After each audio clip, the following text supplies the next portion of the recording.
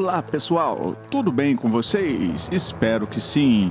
Desde já quero agradecer a todos vocês que têm assistido os vídeos no canal, têm deixado o seu like e o seu comentário e acompanhado o canal em si.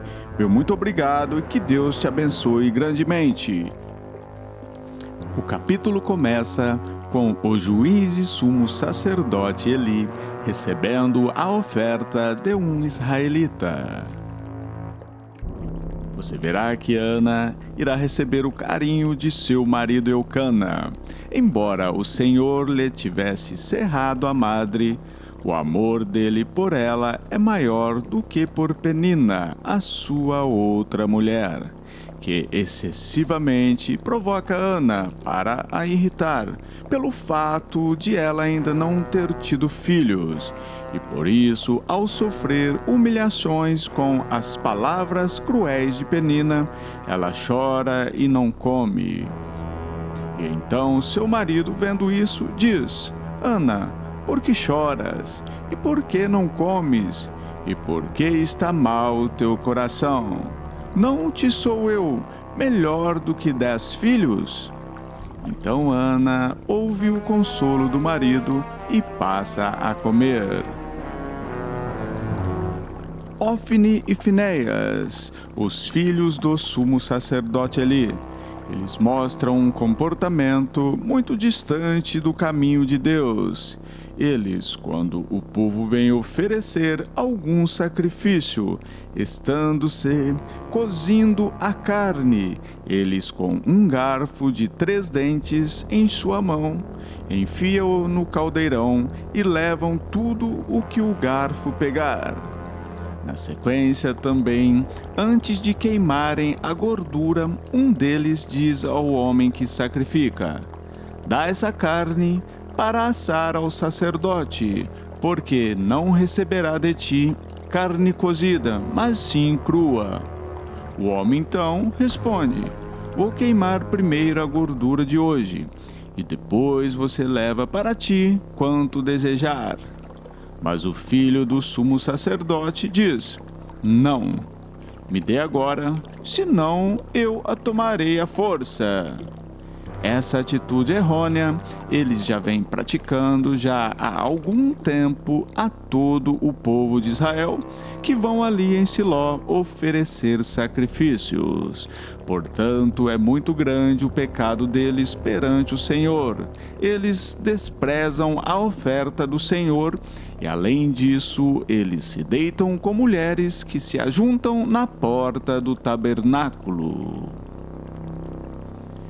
Mas enquanto isso acontece e a notícia e rumores das atrapalhadas dos filhos do sumo sacerdote se espalham, ele, o sacerdote, prefere não acreditar na má índole dos filhos. Você verá também que os israelitas serão atacados por inimigos filisteus. Antes de continuar, quero te pedir algumas coisas bem rapidinho. Assista um resumo no Capricho. Analise e deixe sua opinião. Se possível, interaja. Mas se gostares, faça-o chegar a mais pessoas. E se pretendes acompanhar o canal, faça o mais importante.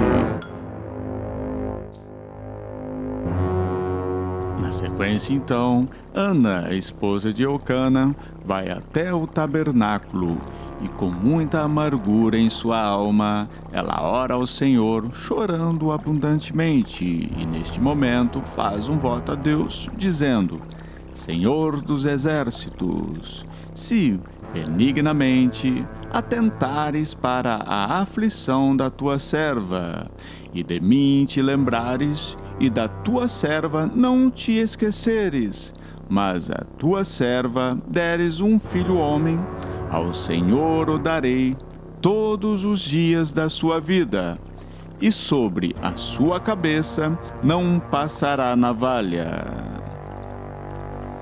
Ela então segue ali em profundo clamor a Deus.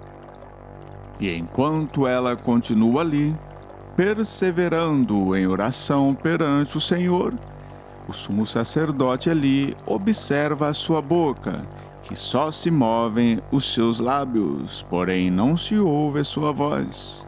Porém, o sumo sacerdote não sabe que Ana fala com Deus em seu coração. E por essa, quem sabe, falta de sensibilidade espiritual por parte do juiz Eli, ele pensa que aquela mulher devota está embriagada e, consequentemente, chama a sua atenção, dizendo: Até quando estarás tu embriagada? Aparta de ti o teu vinho. Ela então responde: Não, meu senhor, eu sou uma mulher atribulada de espírito. Nem vinho, nem bebida forte tenho bebido. Porém, tenho derramado a minha alma perante o Senhor.